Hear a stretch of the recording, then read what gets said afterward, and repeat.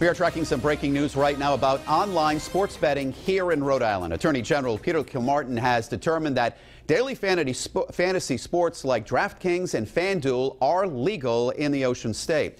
Kilmartin added that although this type of gambling is legal, there should be strict regulations imposed to help protect against minors betting and to protect against addiction issues. We've been tracking this story on the daily sports betting stories for months. We'll have more on WPRI.com.